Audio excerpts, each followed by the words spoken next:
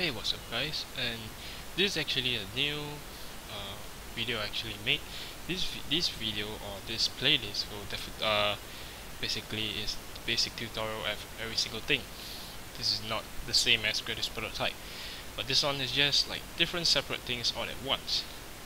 So what this uh, part I'm actually going to show you how to do is the lerp system the Vector3.Lerp so first of all what you need is one item that you want to move. So basically what lerp does is it actually smoothens your the movement from point A to point B instead of using like uh, transform.translate or you're using physics to move like rigid stuff like that.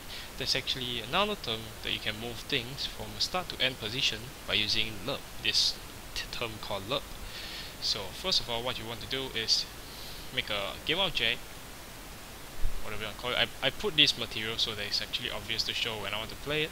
So what I'll actually do is when I press A, you will actually see the wall goes from top A point, point A to point B in a very small position. So what you want to do is first create a script, create a C script, uh, I'll just call it look. And once you make it, open the script. So what do you want for this script? First of all you need uh, first of all obviously you need your game object your wall or whatever you call the object the object that you want to move. So this will be the object you want to move.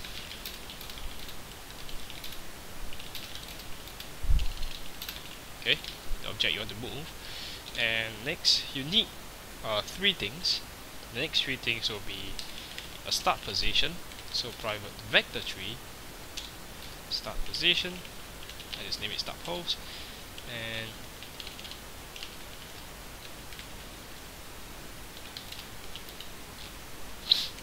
uh, end position which will away on end. So this is the start position. And this is the end position. So what you need next is the distance on how much you want to move. Distance on how much you want the object to move. So this will be a float. So make a float.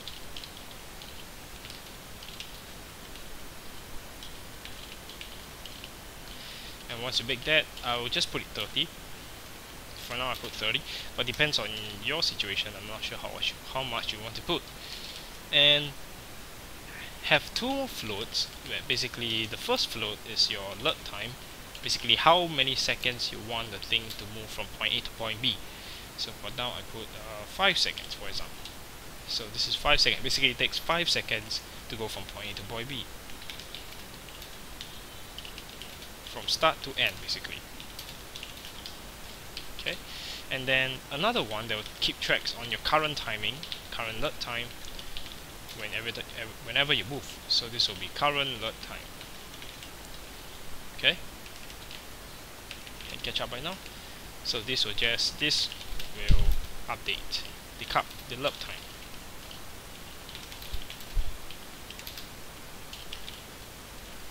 Simple as that. And I put 0 for now. And for for this case this one is only for my purpose of showing the video.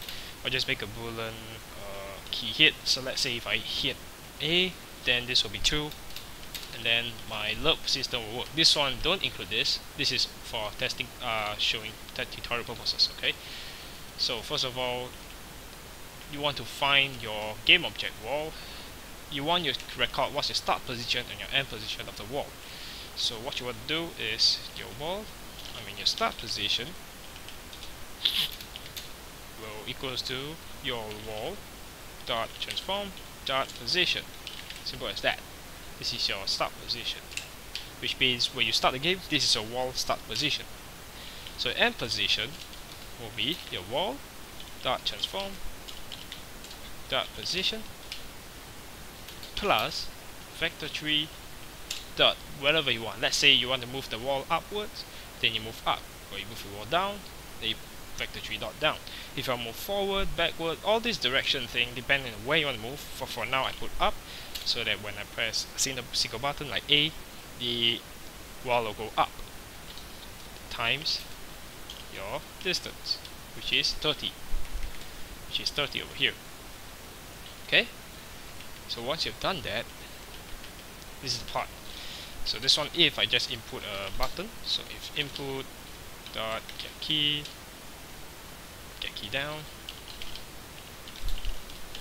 key code dot a so what will happen? So this is only my part. So key hit will be true. And this is the part where you may want to take note of this. I'll just make it bigger. So key hit if equals true if key hit is true what happens? Your current time current lerp time which is 0 over here your plus equals the time dot delta time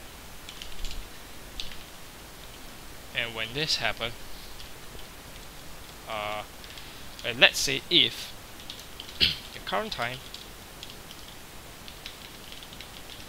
is more than or equals to your lerp time which is 5 seconds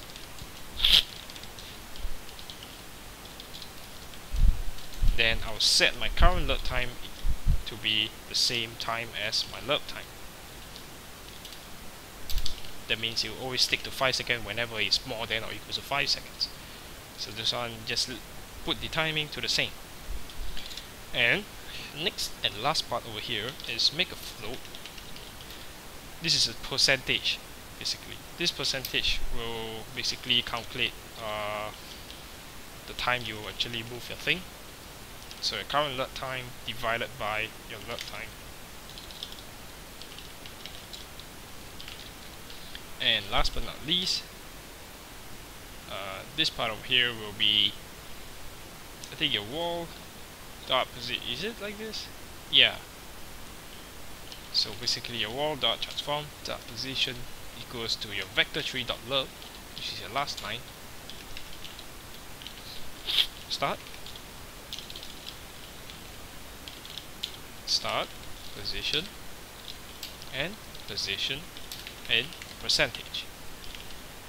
So once you're done with that so basically if your key hit is true then will add your current time will add and as it adds this thing will actually uh, determine how fast your things will move. So you actually this one actually makes will actually make a thing move from your start to the end. So once you're done with that drag the script to the thing you want to move. You check this here. And just cancel this for a while.